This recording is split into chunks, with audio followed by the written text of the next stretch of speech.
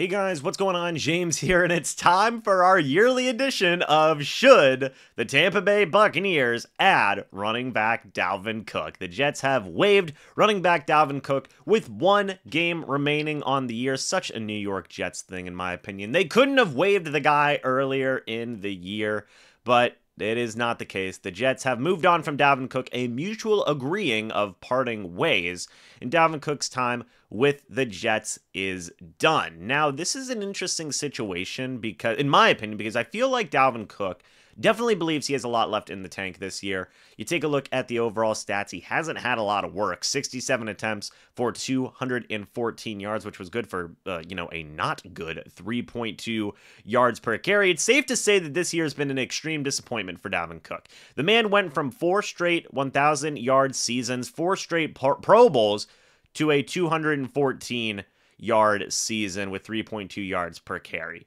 It definitely hasn't gone the way Dalvin Cook thought it was going to go. Definitely didn't go the way the New York Jets thought it was going to go. And now Cook finds himself as a free agent. And I'm going to say this. If I'm Dalvin Cook, if I'm Dalvin Cook's agent, I am going to want to try and get with a team that is going to the playoffs, right?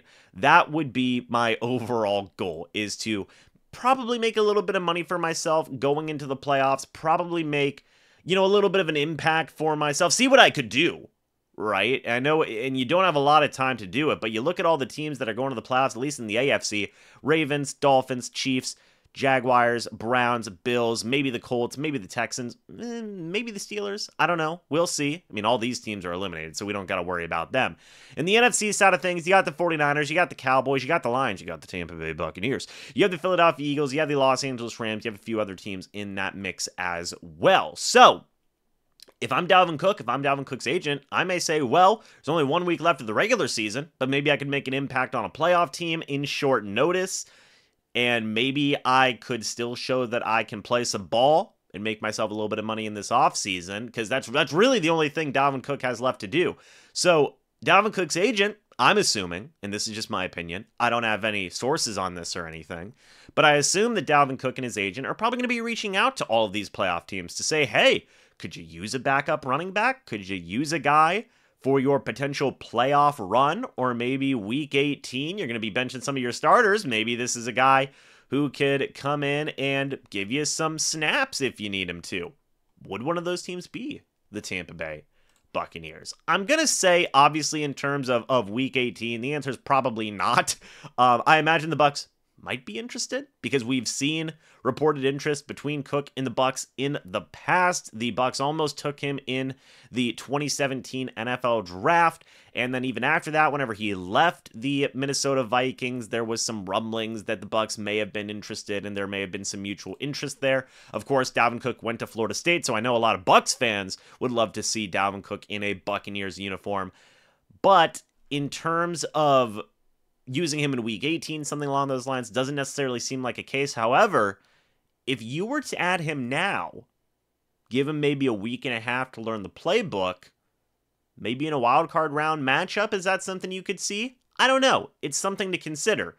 Maybe we see. And by the way, if Dalvin Cook were to join another team here, I imagine it would have to be pretty quick in the next couple of days or so just because of the timing of everything. You know, week 18 is literally just a couple of days away, and then you have the playoffs literally right after that. So if Dalvin Cook does want to play for the remainder of this season or playoffs, you imagine something is going to have to happen pretty quickly. And just based off of what I'm assuming the agent would do, maybe he'd reach out to some of those teams. Maybe one of those teams would be the Tampa Bay Buccaneers.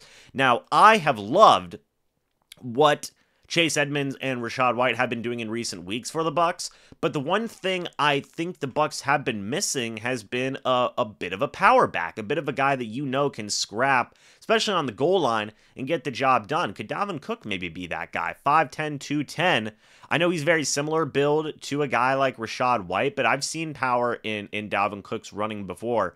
I've seen ability in you know definitely in Dalvin Cook's running before. Again, he had freaking 13 and 16 touchdowns in 2019 and 2020. So this is a dude that could definitely score when you get the football in his hands. Of course, he's had a down year this year, but if you use him in a limited capacity, maybe it's something to consider if you're the Buccaneers. Because besides Rachaad White and Chase Edmonds, You're kind of non-existent at running back. You haven't been playing Sean Tucker. You waived Ke'Shawn Vaughn. If you want to bring him in on the practice squad, if you want to bring him in just to have him learn the playbook. If if you're assuming the Bucs are winning in week 18 and you may just want to add a little wrinkle into the offense, a little surprise in there for a wild card matchup just to spice some things up. And hey, maybe see what happens after that in the offseason. Maybe you do bring in a guy like Dalvin Cook. It'd be interesting. It'd be interesting. But it wouldn't surprise me if Dalvin Cook and his agent are reaching out to all these playoff teams or playoff hopeful teams saying, hey, my guy could be of service. Dalvin Cook could be of service. It wouldn't also surprise me if, if one of those teams that is reached out to is the Tampa Bay Buccaneers. Again, I don't have sources on this. I am assuming. And I don't think it would be a crazy move for the Bucs to make, considering, you know, Dalvin Cook would probably come relatively cheap, again, with like half of a week left in the regular season.